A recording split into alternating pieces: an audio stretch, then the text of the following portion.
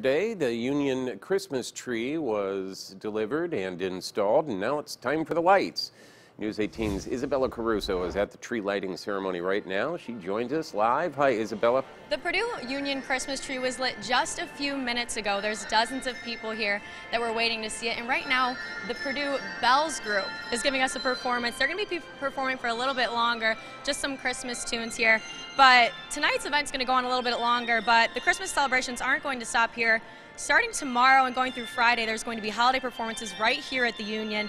Those performances will feature students and even some local music groups, and that will be going on starting at 11 a.m. and going until 3 p.m. Again, that's tomorrow through Friday, and that all leads up to Santa's arrival this Saturday, December 8th. St. Nick will be here and he's inviting everyone for a special breakfast. That starts at 8 a.m. will go until 10:30. Now tickets for that are $4. And after breakfast, children can hear a story from Mrs. Claus herself and even have a visit with Santa. That's on Saturday. Now we're going to have those events listed on our website, WLFI.com. Reporting live in the Purdue Memorial Union, I'm Isabella Caruso for News 18. Isabella, thank you. A long awaited